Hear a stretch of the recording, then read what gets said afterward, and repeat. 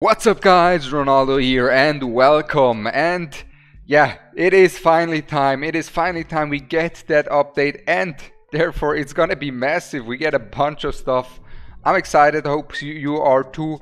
Now usually I don't really do these uh, update reviews or just videos in general about the updates, but I thought this is such a massive, massive update that I'm so excited about and many things that I'm excited about that I want to share here. Uh, I just want to go over with you guys and also I thought um, maybe you like it, maybe you don't. I will see it uh, in the comments and through the responses of the algorithm as well. But yeah, let me go over that update, what we've got, especially mainly what I believe is going to be amazing. And first up, is going to be the arena update and that's the first amazing thing in my opinion. Now we had uh, some controversy um, in controversy. Eh, speak english ronaldo come on. Focus up. Um, controversy.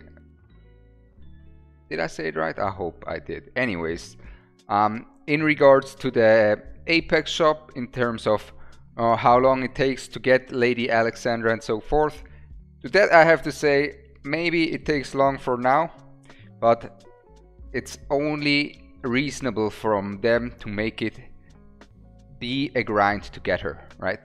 It's only reasonable because it's just like, um, let's say you're a teacher at school, you should be strict at the beginning and then uh, with the time you can soften up. Same with Lady Alex, you know, you can be uh, strict with these coins at the beginning, see how uh, community response, how many coins they actually can accumulate, and then make your decision there and get a bit softer with it, you know, give some bonus points there, give some bonus coins there. I think that's the right approach, and I don't think she um, should be someone that um, you can get after a month. I don't think that's the case. I think she's an amazing unit. I, I will make a video on her, and I think she should be someone endgame players can look forward to getting.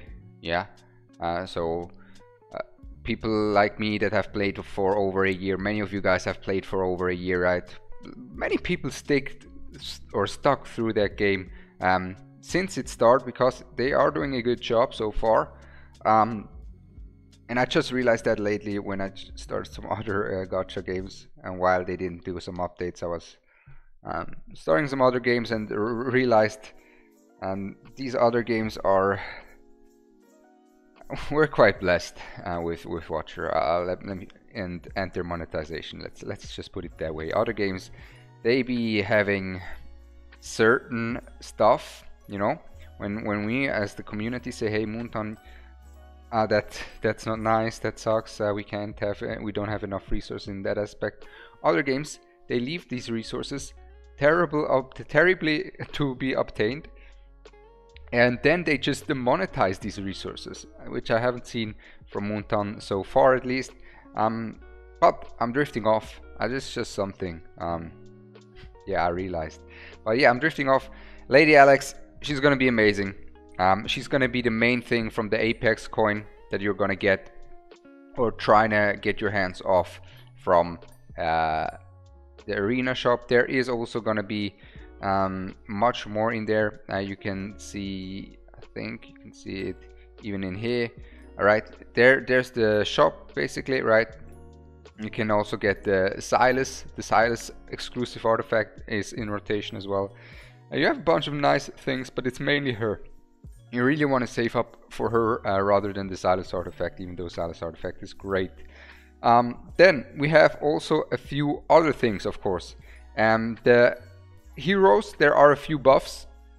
Uh, mainly we have Honora, we have um, Nisande, Giselle, Pradis, um, and the buffs I will go over specifically uh, on uh, other video because I have certain uh, things I want to talk about on these buffs and what I believe will be the exact impact of these. Uh, more in depth than just broad on a on an update kind of video. Um, but then we have the gear, right? And the gear recommendation is so amazing, guys. I already played around uh, with it a bit um, on the test server with the gear recommendation system, how you can customize everything.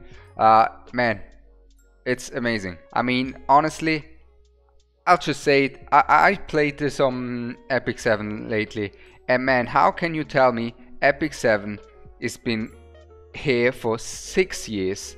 Watcher of Realms has been here for 1 year and you can sort the gear easily or find the proper gear more easy than if you do in Epic 7 when they had 6 years to do so. Um, and that you can just customize it to your to what you whatever you want it's amazing and on top of that we will have in terms of the gear of course also the exclusive gear. I already made some videos. I already did some testing with how much exclusive gear you actually get from uh, hammering with azor uh, from forging.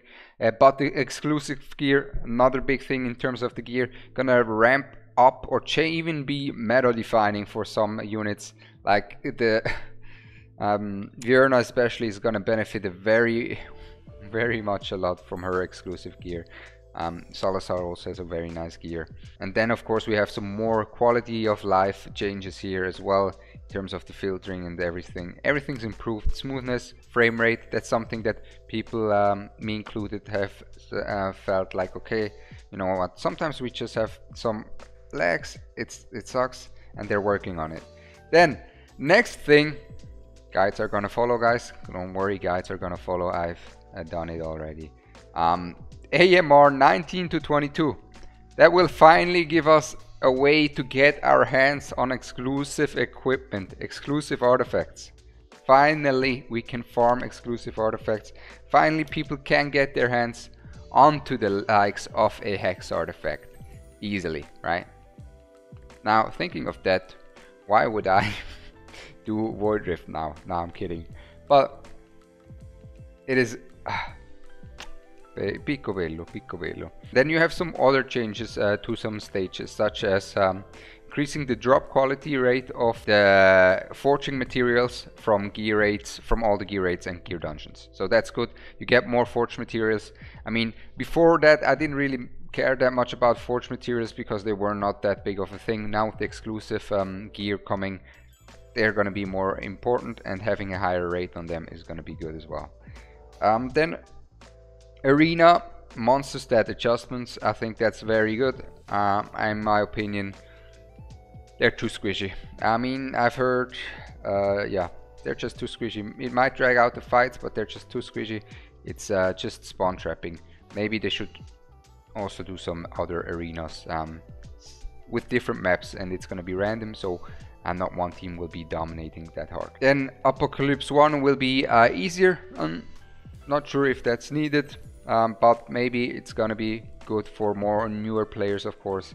Um, for the later players, Apocalypse 1 is already um, not that hard since we kind of have all the gear and everything. But of course, nice quality of life for the newer players.